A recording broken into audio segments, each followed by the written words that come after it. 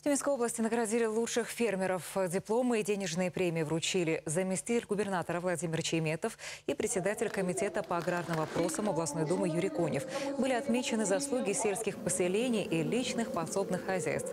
Трем специалистам присвоили звание «Почетный работник агропромышленного комплекса России».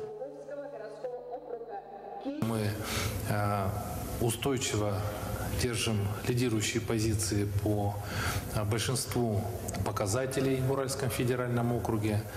Мы э, поступательно увеличиваем объемы производства, э, выходим на новые рынки сбыта. Сегодняшнее мероприятие как раз будет ярким подтверждением того, как люди, которые непосредственно работают на земле, в муниципалитетах, добиваются очень ярких, очень существенных результатов.